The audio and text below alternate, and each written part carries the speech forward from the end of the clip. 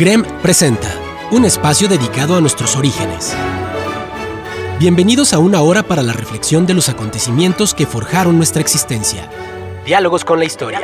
Un espacio dedicado a nuestros orígenes. Encuentros con nuestro pasado. Diálogos con la historia.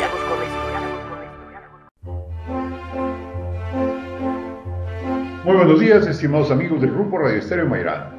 Hoy es sábado 30 de septiembre de 2023 y es un grato placer darles la más cordial bienvenida esta mañana de historia. Gracias, muchas gracias por la oportunidad de convivir a través de esta pasión. Soy Luis Alberto Vázquez Álvarez. Hoy iniciamos una nueva serie que tendrá como núcleo a Napoleón Bonaparte, pero sobre todo las transformaciones sociales, políticas de su época. Ese nuevo pensamiento filosófico y político que provocó el nacimiento de la ilustración, que provocó el nacimiento la ilustración y con ella la Revolución Francesa. Ello permitió el ascenso del corso inmortal. Pero más atrás, ¿qué había? ¿Qué se conocía? ¿Cómo, cómo veía el ser humano el mundo? Ese es nuestro tema de hoy. Y recuerden, distinguidas damas y caballeros amantes de la historia, que para nosotros escuchar sus opiniones nos enaltece, eleva nuestra calidad humana. Por ello les invitamos a que con toda confianza nos brinden su visión del tema y nos honren con ella. Con mucho agrado damos la más cordial bienvenida a nuestros distinguidos invitados, amigos nuestros, conocidos, conocedores de la historia y conocidos por ustedes por su amor a ella y el gusto por compartirla.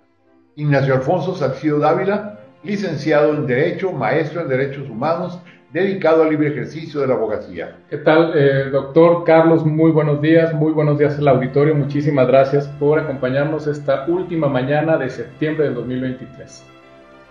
Carlos Humberto Huerto Ochoa, licenciado y maestro en Derecho, catedrático universitario y abogado consultor con concentración en amparo. Muy buenos días, doctor Luis Alberto, mi amigo Nacho Salcido, Radio Escuchas. Aquí, como bien dice Nacho, cerrando el mes de septiembre e iniciando incipientemente la temporada de otoño.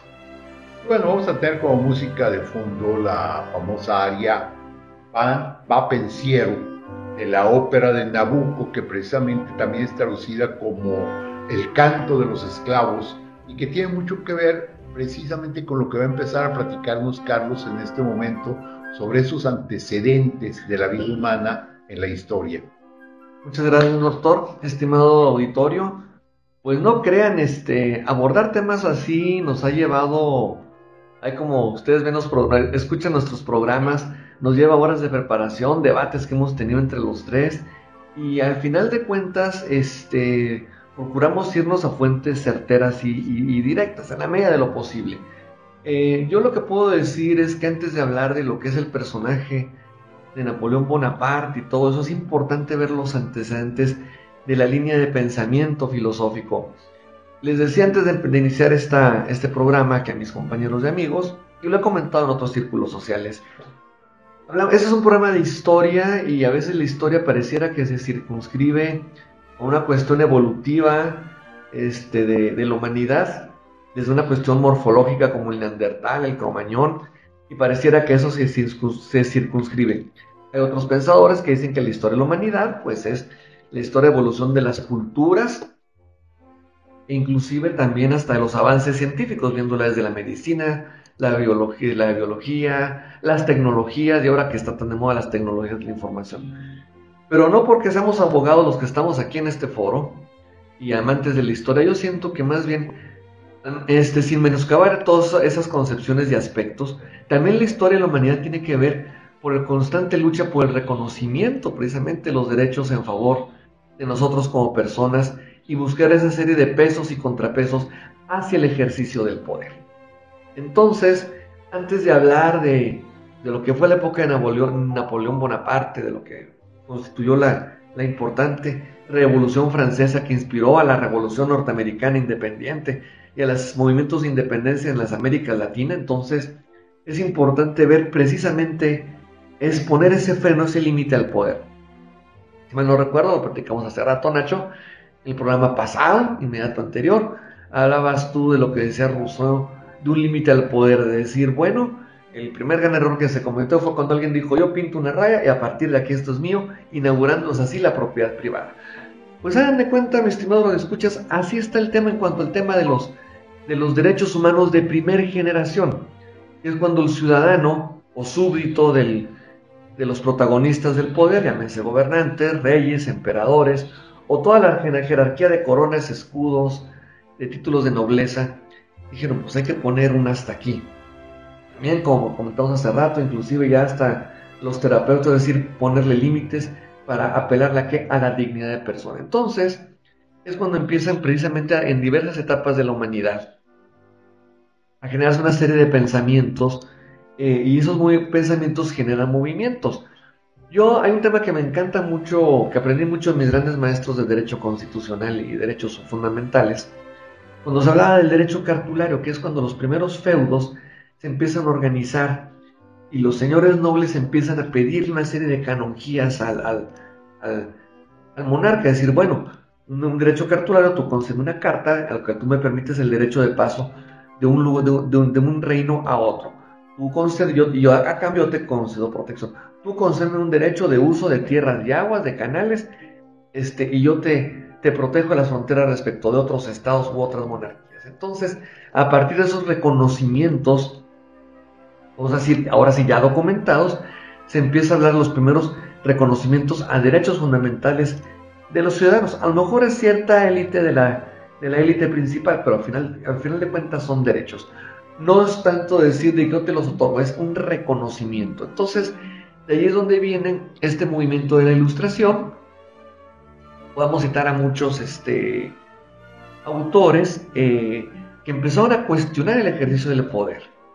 Hablábamos de Rousseau, hablábamos de, este italiano que vaya que se disfrutó las mieles del poder como fue Niccolo Maquiavelo, del cual a citar en su obra más este, icónica que es El Príncipe, en la cual se examinó las causas, fíjense nada más, de la grandeza y decadencia de los estados y en atención a ese tipo de fenómenos propone una serie de medidas o consejos que seguir por sus gobernantes para la conservación y fomento del poder.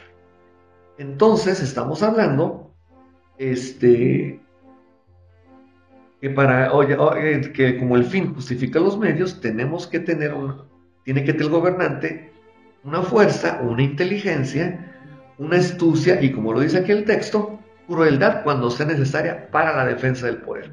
Hipocresía, disimulo, doblez, desconocimiento de palabra dada y cualquier otro elemento que dé esa obtención y defensa del poder. ¿Por qué? Por un tema que he estado platicando.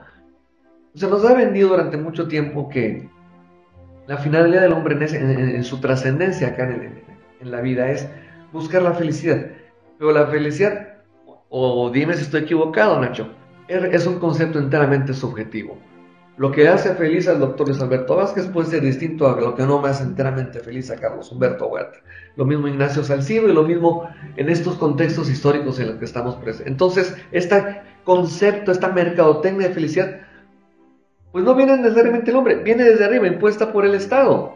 El Estado también empieza a cuestionarse a sí mismo sus funciones y empieza también, hasta por un momento, ojo, hay que ser delicados y puntuales con este aspecto no que se vuelva ateo, no que se vuelva anticlerical, pero empezar a, separarse un poco del poder, del poder de, del, clero católico, del, no del, del, clero y la, iglesia católica predominante en aquella época, independientemente de los sismas internos que haya tenido, que eso también va a contribuir a corrientes de pensamiento, sobre todo cuando llegan los sismas de la iglesia ortodoxa, la iglesia anglicana y toda esa élite de, todas esas corrientes del, del protestantismo en sus diversas ramificaciones.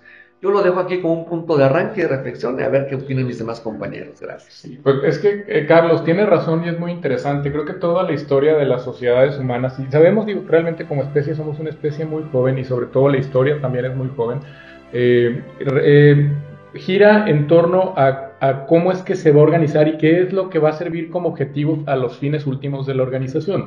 Y precisamente, antes de entrar al aire, yo planteaba una pregunta. Sería muy interesante examinar eh, si existiera un sustento, es que también esa es otra, existe un sustento ético para la masificación de la cultura. ¿Por qué? Porque eh, hay, una, hay una frase que resume, desde mi punto de vista, una verdad mm, prácticamente incontrovertible, que es pienso, luego existo. La existencia del ser humano está eh, la existencia como eh, conciencia de sí mismo y como conciencia del entorno, está acotada a, los horizontes mentales de las personas. Entonces, eh, llegaríamos a un absurdo, y este, este, creo que es una herramienta argumentativa muy buena para saber cuando un argumento no puede ser defendido, llegaríamos al absurdo de decir que un cazador recolector de hace 30.000 años no era feliz o no era, no era pleno como ser humano. ¿Por qué? Porque vamos a decir es que él no tenía, es más, ni siquiera sabía eh, quizá leer, escribir, eh, muy probablemente su lenguaje estaba muy limitado. Nacho apenas tenía conciencia de sí mismo como especie humana. No, sí la tenía, Carlos. El gran, la, gran diferencia es que tenía la conciencia de sí mismo como un ser humano salvaje, entendido este como aquel que eh, da mayor preponderancia a la satisfacción de sus fines vitales que a fines trascendentales porque creo que hace eh, 30, 40 mil años, claro, se encuentran vestigios ya que eh, hablan sobre este despertar del ser humano de una eh, aspiración a, ser trascendentes con los entierros, con eh, el arte pictórico, con, con cuestiones que dicen, quiero dejar una huella, quiero que se sepa que estuve aquí, pero realmente éramos no muy distintos de otros animales. Y aquí hay muchas veces las personas ofenden cuando digo animales. Pues claro, si ustedes consultan que somos primates, o sea, ante todos somos primates.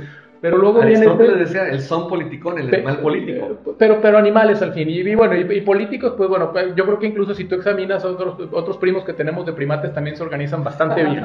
e incluso algunos abajo del mar también se organizan a todo dar y las ballenas se comunican muy bien. Y, eh, eh, entonces, creo que, creo que también eh, somos, arrogantes como especie, es decir, somos mejor que todos los demás y tenemos más derecho a estar aquí que todas las otras especies y por eso podemos crear a los pollitos en jaulas que no se puedan ni mover y a los patos les damos de comer para hipertrofiarles el hígado y, comer foie grano. Entonces, eh, eh, como especie eso somos. Pero ¿a dónde voy con todo esto, Carlos?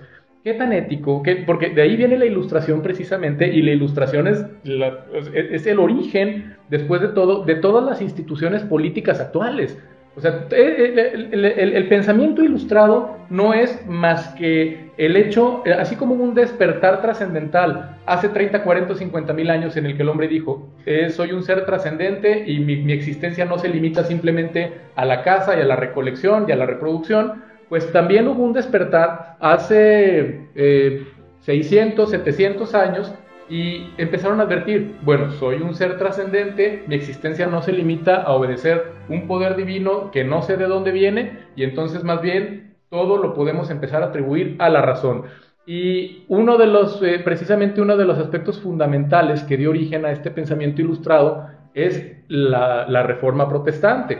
Cuando el ser humano fue capaz de cuestionarse, cuando las sociedades fueron, capaces de empezar a cuestionarse la religión, entonces empezaron a cuestionar la estructura social, porque no hay que olvidar que eh, se vivía en una época oscurantista y en una época de monarquías absolutas. Y las monarquías absolutas se basaban precisamente, ¿qué es el oscurantismo? El oscurantismo es el mantener ignorantes a las masas, ya sea ocultándoles información o bien volviendo incomprensible para ellos como era la prohibición de las traducciones de las Biblias, ¿sí? el hecho de dar las misas en un idioma que no entendían las masas y que no podían aprender tampoco. Entonces, eso es el oscurantismo, el control de la sociedad manejando o limitando la información a la que se pueden asir. Y llegan estos grandes pensadores y dicen, pero es que no, realmente la legitimidad del poder no viene de un Dios, o si hay un Dios, entonces al Dios no necesariamente lo vamos a encontrar más allá, quizás es un Dios que podamos advertir al despertarnos, ver el amanecer, las nubes, el cielo, ver a mi hijo, ver a mi esposa, ver a mi amigo. Entonces, eh, eh, cuando surge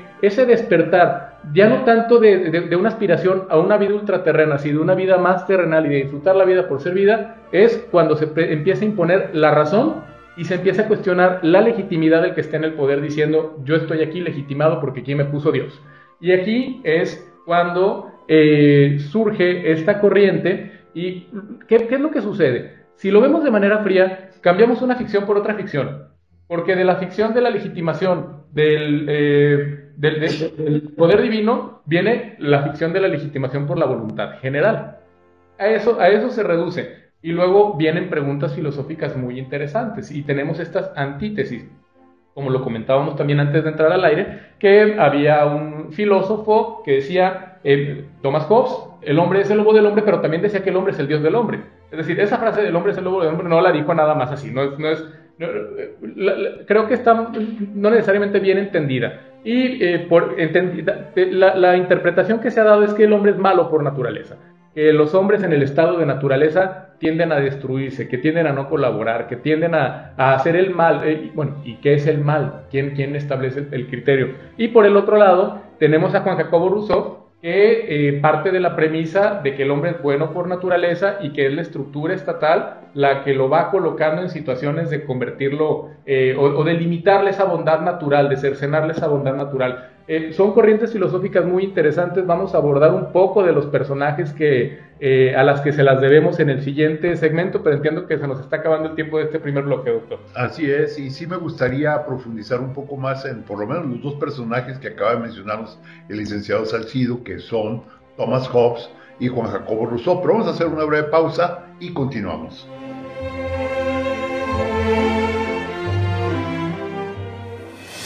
Diálogo continúa después de esta pausa. Escúchanos en línea a través de www.noticierosgrem.com.mx. Diálogos con la historia. Q 91.1 FM. Es tiempo de continuar dialogando con la historia. Escúchanos en línea a través de www.noticierosgrem.com.mx. Diálogos con la historia. Q 91.1 FM.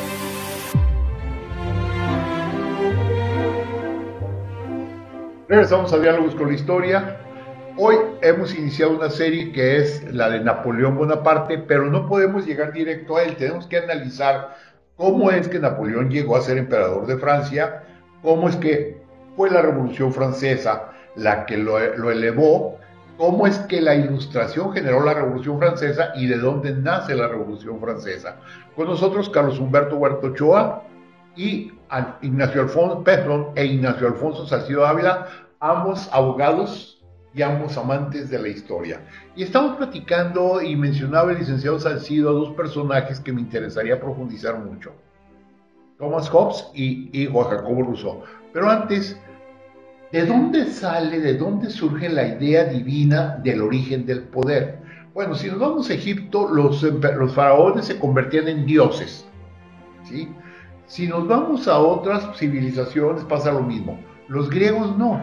Los griegos generaron desde el siglo V, más o menos desde la época de Pericles, la idea de la participación del pueblo en la decisión del gobierno.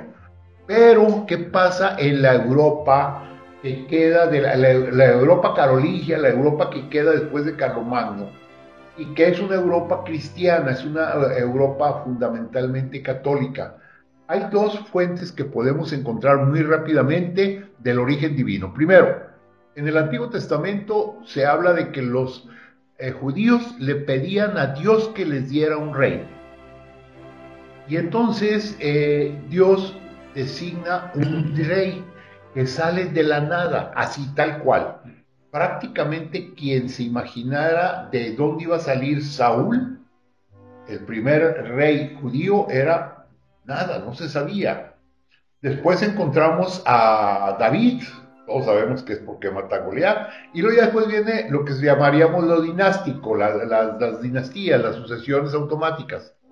Y posteriormente va a ser San Pablo quien en uno de sus tantas epístolas menciona que todo poder viene de Dios, así tal cual. Y entonces encontramos nosotros este, el origen del poder. Y esta, esta explicación la toman los monarcas europeos y encuentran también filósofos que, los van a, que les van a dar la razón del poder origen, del origen del poder divino. Es decir, que Dios es el que designa a los monarcas. Por eso sentían que tenían un derecho divino. Carlos, ¿querías mencionarnos un, filósofo? sí, así nada más brevemente nos, referimos al pensador francés Jean Bodin, o, o castellanizado Bodino, que vivió en pleno siglo XVI, en ese furor precisamente de, ese, de esa monarquía absoluta, de esa arrogancia de sentirse, como tú decías, atinadamente, un, arrogarse un derecho divino yo estoy aquí no por voluntad propia, es voluntad de Dios y represento su, su voluntad. Entonces, acá el señor Bodín escribe su, bueno, hizo, hizo muchos libros, pero el que destaca es precisamente los seis libros de la República, publicada en 1576, hace 447 años. Y a, y a esos cuatro siglos de distancia, pues pareciera que todavía hace un poquito de eco porque él justifica la, la consolación de la monarquía absoluta. Él, él, entiende, él define por primera vez, porque es un término entre comillas moderno, la palabra soberanía, que como un poder supremo sobre ciudadanos y súbditos no sometido a la ley. O sea, ese poder no tiene por qué rendirle cuentas a nadie. Es por eso la palabra absoluta. También como la facultad de crear y derogar leyes con potestad suprema. De ahí el latinismo suma potresas, el poder supremo, el poder absoluto. Y precisamente de ahí la palabra soberanía o superomnia, que es lo que veamos en el libro de Tena Ramírez en Derecho Constitucional. Super, que está por encima de todo, es que está por encima, que no hay ningún poder externo que puede menguarle o que le puede controvertir, y omnia sobre todo el mundo. Entonces, ese es un concepto de, de, ese, de esa situación, de que ahí es donde viene el debate. ¿Quién es el soberano? ¿El soberano monarca o el pueblo a quien se debe ese monarca? Entonces, okay. ahí es donde... Y era como un, un, un, punto así nada más, este, los puntos, las vamos a decir las palabras clave, ahora que está tan de moda hablar así, de la, de la soberanía es poder supremo, perpetuo, legal, omnipotente, y, y estas son las primeras aportaciones para lo que se conoce como un Estado moderno. Hasta aquí dejo esta intervención. Gracias. Aquí lo interesante de lo que acabas de mencionar es, esa situación se vivió en muchos países, pero tuvo que ser en Inglaterra, particularmente en Inglaterra, donde se empiezan a generar ciertas situaciones especiales. Particularmente el pueblo inglés va a vivir problemas serios, graves.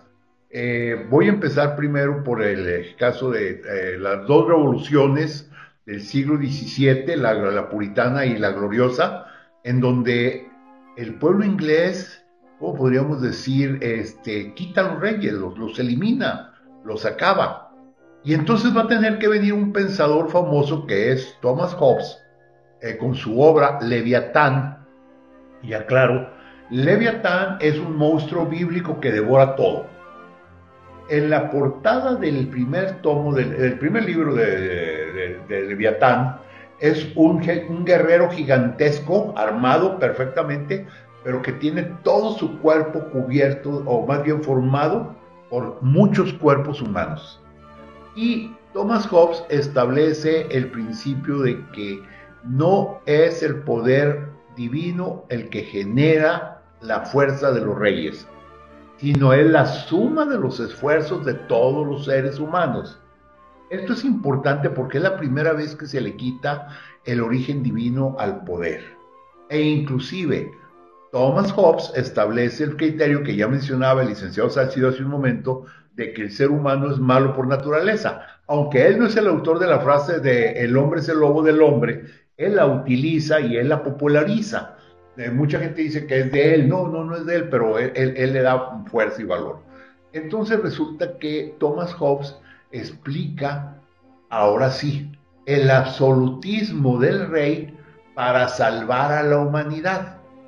Como los hombres son malos por naturaleza, están buscando destruirse unos a otros, buscan de cualquier manera acabar. Y entonces tiene que haber alguien que impida que la humanidad desaparezca y ese es el monarca.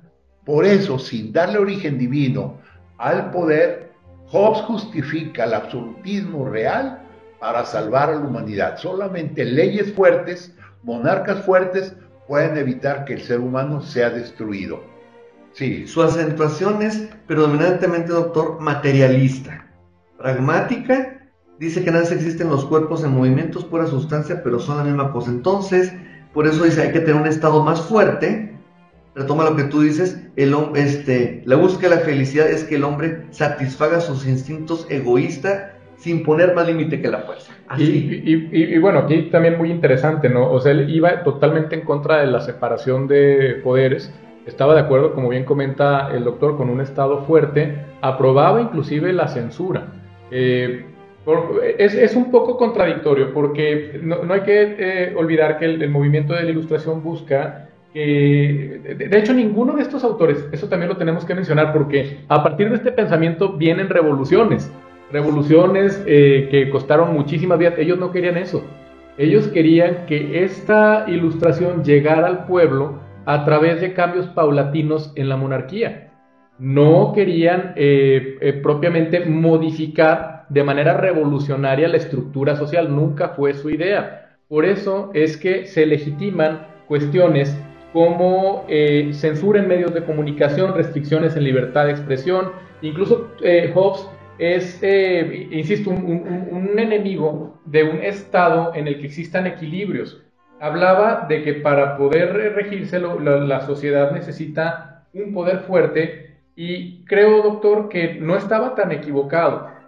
Actualmente, claro, decimos, está penada la censura y la libertad de expresión debe eh, garantizarse, pero realmente censura existe. ¿Por qué? Porque incluso eh, los artículos 6 y 7 constitucionales, principalmente el sexto, que es el que establece la libertad de expresión, establece límites y allí podemos estar hablando de una censura, ¿sí? Que no ataque la moral ni perturbe el orden público, los derechos de tercero. Pues sí, pero entonces tenemos un poder que establece que es la moral, el orden público, los derechos de tercero. La vida privada. Eh, exacto. Entonces, creo que, creo que ese tipo de, de, situaciones, eh, más bien es, es, es cuestión de darnos cuenta el poder necesita establecer límites y todos tenemos que ceder nuestra libertad para eh, poder convivir en sociedad. ¿Bajo qué óptica y con, miras a qué? Eso es lo distinto. Otro eh, pensador de suma eh, importancia, que de hecho algunos autores consideran que es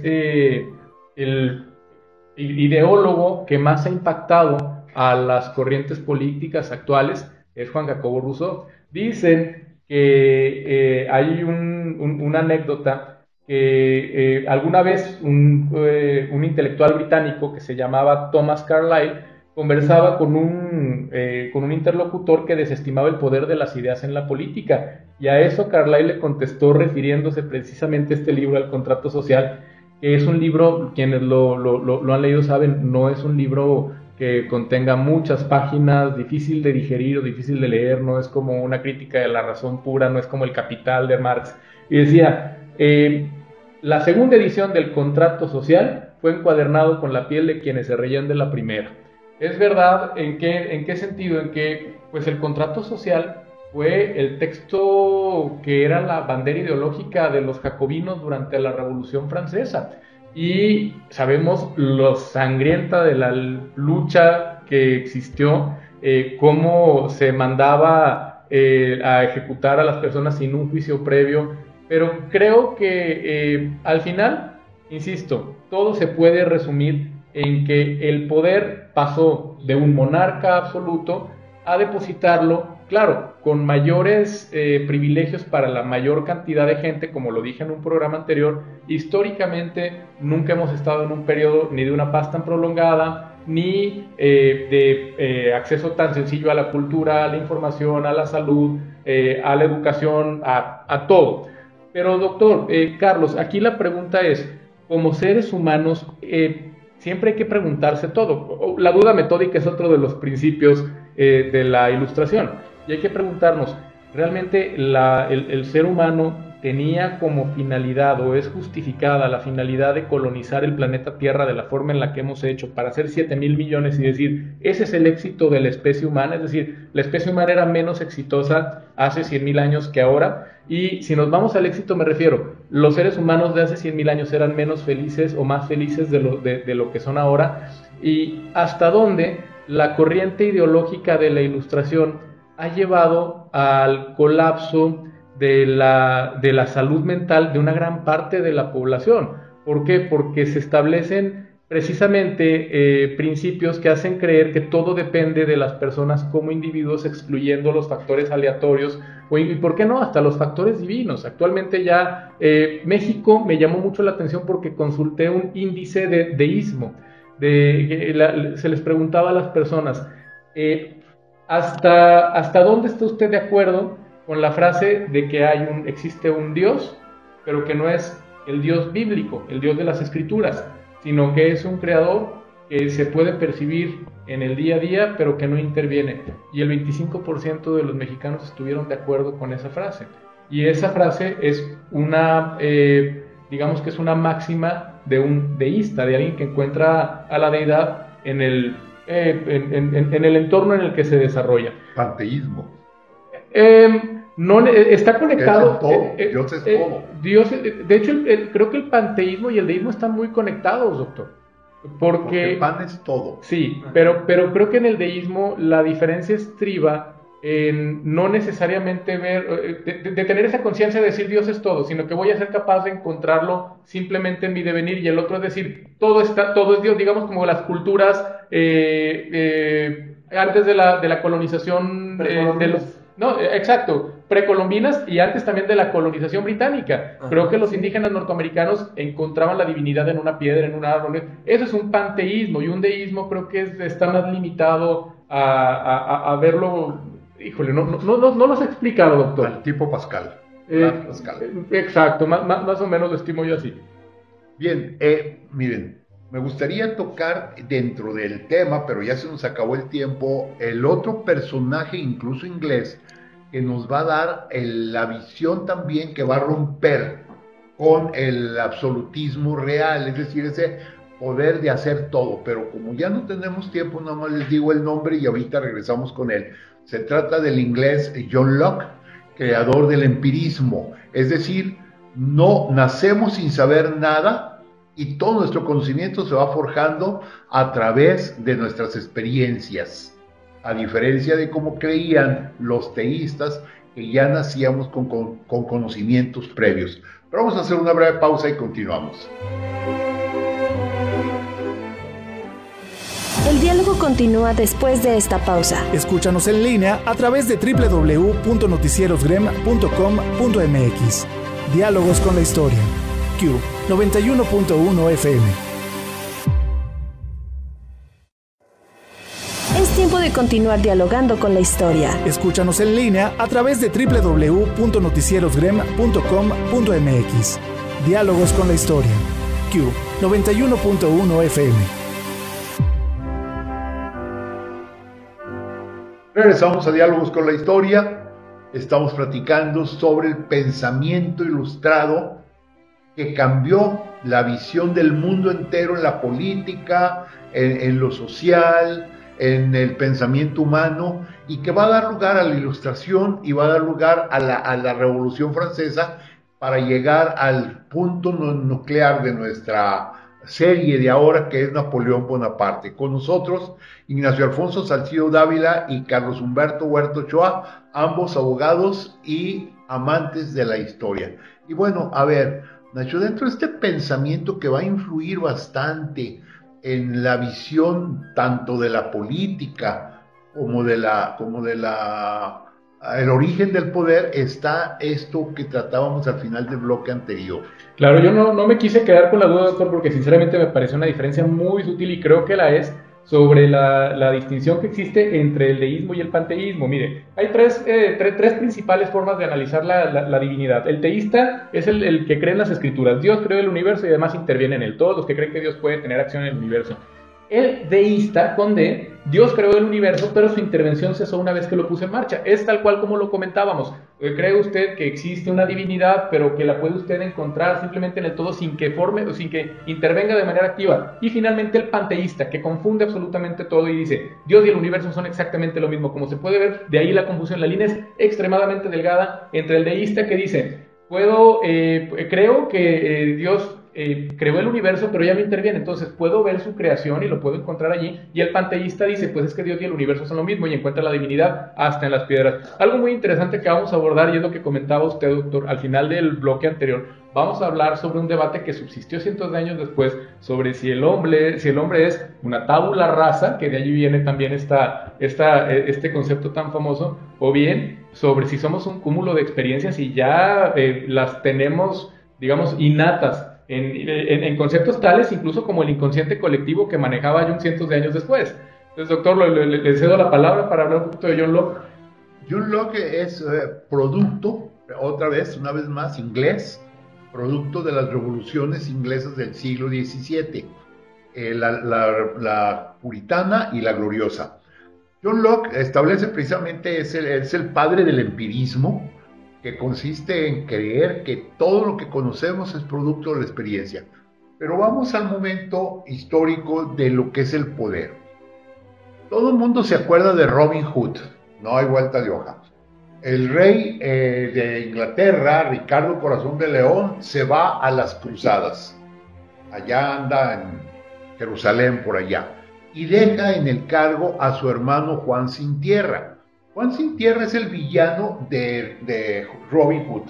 El senescal del trono, en ausencia de Ricardo Corazón Y el nombre de es, es, hermano de Ricardo, se llama Juan, y es sin tierra porque no tiene derecho a nada.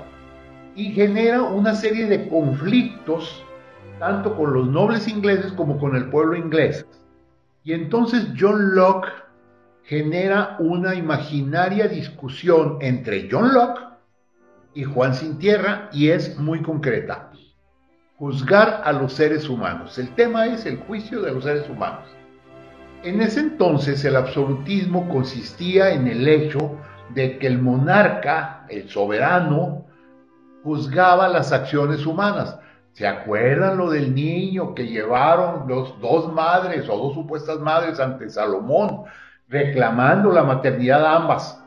Y que Salomón toma una decisión que para ante todo sería espantosa y finalmente resultó maravillosa, que para solucionar el problema había que partir al niño en dos pedazos y entregarle a cada, a cada, a cada madre un pedazo. Justicia salomónica. La justicia salomónica. Esto nos representa precisamente el hecho de que Salomón tenía la capacidad de juzgar los hechos humanos y tomar decisiones incluso sobre la vida y la muerte. Y así sucedía con los monarcas. Entonces, ¿qué es lo que dice John Locke? ¿Qué es lo que le reclama a Juan Sin Tierra? Que los juicios, el análisis de, juzgar las conductas humanas, buenas o malas, debe recaer en un cuerpo colegiado de especialistas, de juristas, de gente que tiene una visión muy clara sobre la vida, lo que decía el licenciado Salcido hace unos momentos, sobre la vida, sobre la felicidad, y entonces el rey debe deshacerse de la capacidad judicial y entregársela a un poder lateral que sería aquel que juzgaría a los humanos. Ya no sería entonces el rey el absoluto, porque en ese entonces el rey hacía todo, el rey administraba, el rey juzgaba y el rey legislaba. Y Locke propone que haya un órgano independiente que sea aquel que se encargue de juzgar. Así es, doctor. Y algo muy interesante es cómo fue que John Locke descubrió, eh, al menos existe esta anécdota, de cómo llegó a la, conclusión de, la tábula rasa, de que todo conocimiento versa sobre la experiencia. Habla eh, esta historia de que estaba debatiendo con cinco o seis amigos sobre temas intelectuales y después la, la, cuestión ya no dio para más. Llegaron a un punto muerto del debate en el que ya no avanzaba. Y eh, se dio cuenta Locke de que estaban abordando, o al menos él estaba abordando la perspectiva eh, intelectual desde un plano equivocado. Eh, lo primero que se tiene que hacer es entender hasta dónde es el límite de mi conocimiento, ser conscientes de que nuestro conocimiento tiene un límite y fuera de ese límite todo es ignorancia, porque esa es la naturaleza humana y es verdad. Él era totalmente eh, contrario a las ideas del racionalismo en el sentido de que ideas como la perfección ya la traíamos nosotros precargada en el software que era como lo manejaba, perdón que me exprese así, solamente es para, para ejemplificar, es que ya, que ya forma parte de nuestra estructura mental eh, ciertas ideas, como por ejemplo perfección, es lo que sostienen los racionalistas, que sí tenemos ya algunas cuestiones preconcebidas. Y él, a partir primero de definir, a ver, ¿cuáles son los límites? ¿Hasta dónde llega mi conocimiento? ¿Cuáles son las posibilidades que tengo de asir conocimientos, ideas y conceptos? Y, en función de eso, él parte de la premisa de que no puede haber ideas preconcebidas y que todo, absolutamente todo, es fruto de la experiencia humana. Entonces, eh, él afirma que eh, las ideas innatas de, las que nos habla Descartes no pueden ser eh, posibles y que el hecho de que la, prueba de eso es la diferencia que existe entre distintos pueblos. Lo que para un pueblo es abominable, para otro pueblo puede ser alguna cuestión digna de, incluso de alabanza. A ver, Nacho, ahora entonces entendí bien con este, con este concepto de la tabula rasa. Eh, eh, teóricamente, el monarca, por ser de origen divino su poder, podía juzgar por naturaleza, y naturales. Y lo que dice John Locke es no, para poder juzgar hay que tener experiencia, hay que prepararse. Por eso crea el otro cuerpo independiente del monarca que el que se encargue de juzgar. Así es, porque no, nada viene de la nada. no, se puede crear nada ex nihilo. Y precisamente eso es lo que lleva. O sea, esta idea tiene muchísimo peso porque fuerza a cuestionar absolutamente todo y fuerza también a juzgar, porque toda filosofía y toda idea, aunque es una palabra muy fea, pero implica un juzgamiento, aunque no nos guste. Entonces, lleva a juzgar al interlocutor en función de su experiencia que eso también es la raíz de una corriente que actualmente impera y que tiene muchos eh, pros y muchos contras, que se llama la meritocracia. Entonces, en la, de la tabula rasa podemos desprender el empirismo y del empirismo podemos desprender ya en un orden social, digamos, más evolucionado, la meritocracia, que es el sistema actual. Queremos dieces, queremos doctorados, queremos, y en función de eso, la sociedad nos dice que tenemos derecho, en función de nuestro mérito, que no es otra cosa que premiar la experiencia. Carlos. Calidad y competitividad, vamos a decir de un modo anticipado. Yo quiero tomar un poco lo que tú dices, Nacho, sobre todo acá en John Locke. bueno, en primer lugar, que es obviamente antimonárquico, anti, precisamente Thomas Hobbes lo contradice, y tiene un hizo dos tratados sobre gobierno. Yo me quiero asentar sobre el tratado del gobierno civil que es donde le abre brecha a lo que más adelante diría mi tocayo Carlos Secondán, varón de Montesquieu, Montesquieu, cuando habla precisamente, dice, un estado de perfecta libertad por ordenar acciones y disponer de sus posesiones y personas en la manera que les parezca conveniente, pero entre los límites de la ley, sin pedir consentimiento o depender de la voluntad de ningún otro hombre. Hey, estamos hablando de la autoridad del rey, estamos hablando de que esa naturaleza tiene que ver una serie de organismos de pesos y contrapesos. Sí, el monarca puede ser titular del poder ejecutivo, pero necesita una representación popular en un poder legislativo que le haga las funciones, no solo de, crear leyes, sino simplemente crear leyes, representación popular y rendición de cuentas para sopesar esas decisiones ejecutivas. Y un poder jurisdiccional que precisamente, como lo cita, este, se dedique precisamente a dirimir controversias entre, particulares y ahí, claro, todo dentro del, dentro del marco de lo que conocemos como el Estado de Derecho. Entonces, esas son, son las bases que sientan No, no estamos haciendo, agarrando una bandera política ni nada, pero siento que Locke, Hobbes, Montesquieu, Rousseau y demás, pues son los este, constructores de lo que conocemos en la materia de derecho como la ciencia política o la teoría del Estado. A ver, aquí es donde yo quiero entrar a una paradoja muy interesante. Todo esto que estamos nosotros enunciando está escrito básicamente para el pueblo, para los intelectuales. Pero si nos ubicamos en los siglos XVIII, 1700 y tantos, vamos a encontrar con que el número de personas que sabían leer eran muy pocas. El 70% eran analfabetos. El 70% y el 70% era el pueblo. Entonces, ¿a dónde llegaron estas ideas? Porque paradójicamente estas ideas que van en contra del poder son más bien aceptadas por quienes detentan el poder, que son los que están siendo educados, y grupos intelectuales, como hace el caso de, por ejemplo, de Robespierre, de Danton, de Marat, ya para ir entrando en la revolución. Claro, que no hay que olvidar que el movimiento ilustrado es un movimiento burgués. Así es, ándale, burgués, yo diría que un poquito ya una incipiente clase media en vías de aculturizarse. Y donde es un despotismo iluso. O sea, esa burguesía que sigue siendo déspota autoritaria, pero al menos ya está un poco más leída, ya está más encaminada en una línea de pensamiento. Y pueden pasar dos cosas. O la desecha o la asume como propia para, para efectos que dijimos hace rato, de adoctrinar, imponer una ideología, imponer una, un, un valor cultural, una idiosincrasia, una forma de ser. Cuando se supone que bajo el idealismo inclusive la utopía de Tomás Moro y demás, pues tendría que ser algo ideal, la ciudad de Dios, de San Agustín, el poder del pueblo hacia el pueblo y todo para el pueblo. Pero, Carlos, la utopía no nada más es de Tomás Moro, yo encuentro la utopía también, por ejemplo, en el contrato social, o la utopía también no, en el Leviatán, exacto, pero aquí yo, yo recuerdo, hay una anécdota eh, que digo, le, mando un saludo grande, no creo que nos esté escuchando porque ya vive en Estados Unidos, pero un, maestro muy apreciado, en, Carlos Pereira, Luis Pepico, maestro nos relataba, nos relataba y esa se me quedó grabada, fíjense, que había un muchacho, es una anécdota, ¿eh? que eh, iba a entrar en una competencia sobre quién eh, lanzaba una piedra lo más lejos posible y que estuvo práctica y práctica y práctica, nada más no mejoraba. Llegó un mentor estaba practicando de noche y le da un consejo y le dice, no, es que te estás equivocando, ¿hasta dónde la quieres llegar? ¿Hasta aquel árbol? No, tírale a la luna. El muchacho no entendía. Sí, mira, tírale a la luna, apúntale a la luna con toda tu fuerza y tírale a la luna. Y cuando lo hizo, llegó lo más lejos posible. Aquí hace lo que quiero llegar. Es exactamente lo mismo. La bandera que nos están poniendo, la estafeta que nos están poniendo estos grandes intelectuales es lo utópico. Le están tirando a la luna y nos han hecho llegar como eh, humanidad, pues más lejos de lo que nunca habíamos llegado, aunque nunca vamos a alcanzar la perfección. ¿Se acuerdan que hace poco en los programas anteriores mencionábamos a Maximiliano? Y decíamos que Maximiliano llegó a México y con, ideas más avanzadas que incluso las de Juárez. Que para los más liberales que los liberales.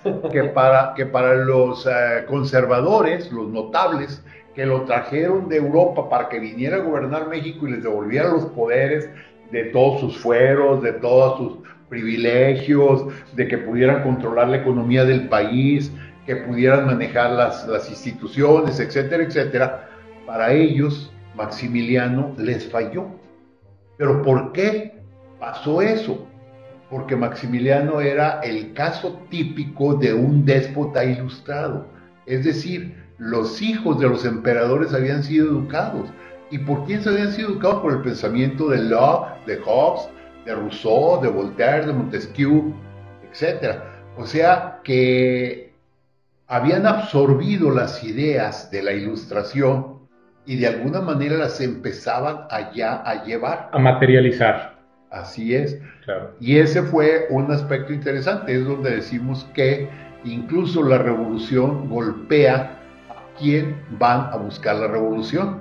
Y así de esa manera el fracaso absoluto de los conservadores fue el que su propio representante, la propia persona que trajeron a México a gobernar, tenía el pensamiento liberal. Claro, y, y, solamente cerrando, eh, doctor, que nos comenta, pues que tenía ideas más avanzadas que Juárez, el Maximiliano no queda la menor duda, porque no hay que recordar que creo que si hubiera eh, eh, triunfado el plan de Tacubaya, quizás el mismo Juárez se hubiera adherido, porque él era más que nada un político y no tanto, no tanto un ideólogo. Así es, y bueno, pues con esto terminamos la parte de los antecedentes ideológicos de la Revolución Francesa que va a traer como resultado eh, la llegada de Napoleón. Para la próxima clase yo creo que, pues, perdón, clase, disculpe, ya, ya, ya, me quedé como profesor. Para el próximo programa yo creo que platicaremos entonces de la Revolución, de la Revolución Francesa. la época de los Luises y las condiciones particulares en que vivía en Francia en eh, esos años de 1750, por ponerle una fecha, previos al movimiento armado. Eh, Ignacio Alfonso Salcido Dávila, muchísimas gracias. Al contrario, gracias, gracias al auditorio también. Carlos Humberto Huerto Ochoa, muchísimas gracias. Infinitamente gracias, doctor, y mucho ánimo. Muchas gracias a mi compañera Vale Quiñones, quien está en la coordinación general ahora en sustitución de eh, Claudia Martínez Martel, que está en merecidas vacaciones. Muchas gracias a mi compañero Roberto Ríos en la dirección de grabación. Y a ustedes, estimados amigos, los esperamos el próximo sábado 7 ya de octubre, ¿eh? ya, pleno octubre. Muchas gracias, muy buenos días, muy feliz fin de semana.